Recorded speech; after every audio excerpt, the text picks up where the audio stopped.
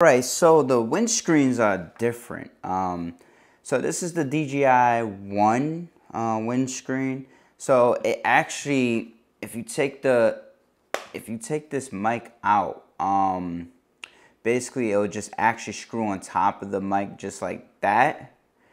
But with this one, you basically take the mic out and then this one just actually sticks in and it clamps in. So it's more of a security that you have on your windscreen. But I have no problems with the mic 1. But the mic 2 I'm dying to try out because it's Vivid Bluetooth and you know it has a thicker magnet behind so that you know when you stick it on your shirt you don't have to worry about it you know dropping off. But with this magnet it's a little bit thinner on a one. But like I said I don't have any problems. Never had a problem with the mic one. But the mic two has a see-through um, mic. So you can actually see like the chips that's inside um, the the mic and with this one it's a little bit you know thinner less less fatter than this one I just realized that but they both underneath have the same charging ports. Uh, so you just stick them both in the box and then that's how they charge. But you know, with this box, you stick that one right there and then you stick that one this way and it charges. So with this one screen, it's easy to come off. So just pull and then it just clamps out. So when you put it back in, it clamps in. Um, with the DJI 1, so we got them compared. So with the DJI 1, you have to screw it off and basically that's how that comes off. But again, it's not a big deal. This one is secure when you screw it in and then that one just clamps in into the DJI 2. So on the back of it, it still has the clamp that you can clamp it onto your shirt. Um, same thing as the one, you could clamp that onto your shirt. They still have the charging cases that charges the devices when they about to die. Um, it's just one this one is smaller case. Two, this one clamps in is a bigger case. So this is more secure than this one, as other people like to say. Um, basically because this one could just pop open when you pull it open. But this one, you will have to actually press a button and pull it back open. So it's more secure. The transmitters are different mics. These are the transmitters. Uh, it's microphones. Uh, so you get two as you do with the mic one. Um, I'm recording off of the mic one. So, um, you know, basically that's how the audio is coming through is through the um, DJI mic one. Uh, the mic 2 I haven't even tried out, so I will do an audio test between two mics to see exactly what mic sounds better. Um, I know the mic 2 has noise canceling, so basically you can, you know, shun out the world and you can have that clear audio um, compared to what other people say or have said. I like this one, the, the DJI Mic 2 case, because it's like it's metal. It's a little bit um, heavier and it's a little bit bulkier and it's bigger than the DJI Mic 1. It also comes with a USB to a USB-C charge. Um, so the same thing that's on the back of the DJI 1 case is a USB-C. It's the same thing that's on the back of the DJI 2 case is a USB-C.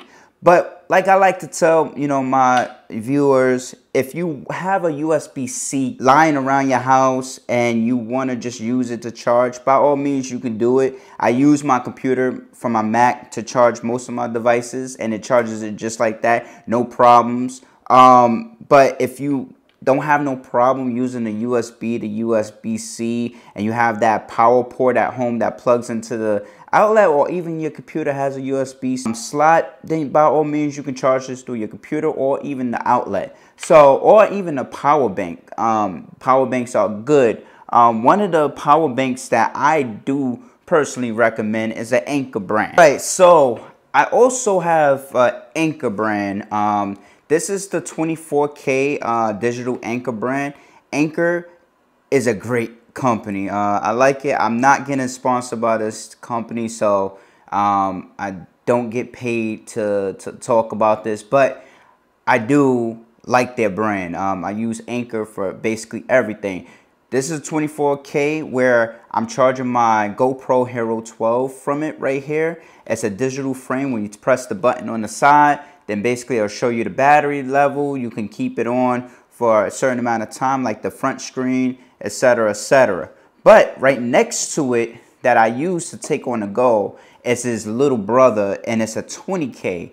Um, reason why I get so high of um, the MAH is because the higher the MAH is, the better it is. But Anker is known to be a good product. Uh, same thing, you press that side button on the um, left side, and basically, you know, you could be able to um, see how much battery power you have, how long the screen time you have, you know, if you want to keep it on, just to look at it when it charges. You can use this to charge your, your device. It has two USB-C ports at the top and it has one USB port at the top also. So if you do have something like this, uh, USB to USB-C, just pop that in at the top.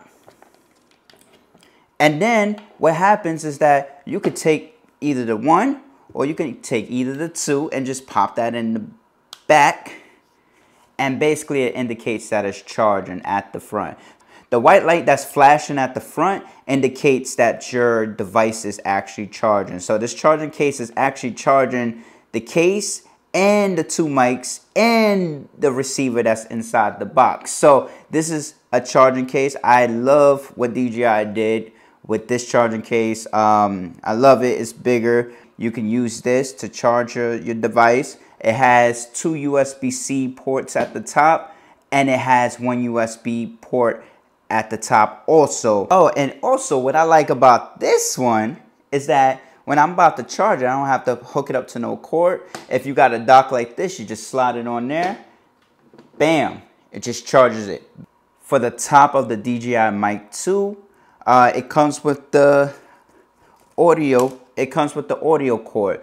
Now, I don't know if DJI meant to like make the cord a little bit, you know, bent um, to just fit in the bag, but it's pretty cool. It's a thicker cord. Um, it's just um, aux to aux, so female to male. Uh, you can choose to, you know, if you don't choose to use this, you can always use the adapter. So this thing will work with an Android phone, so or any any USB-C device um, that actually supports a mic. Also, I like how DJI made it easy for us to slide out from underneath. It's a little bit tough to slide it from underneath the DJI Mic 1. Compared to the, the DJI bag, this is the bag that the DJI 1 comes in. So basically it's a little bit smaller like I said. Uh-oh, we got something that's not quite in there.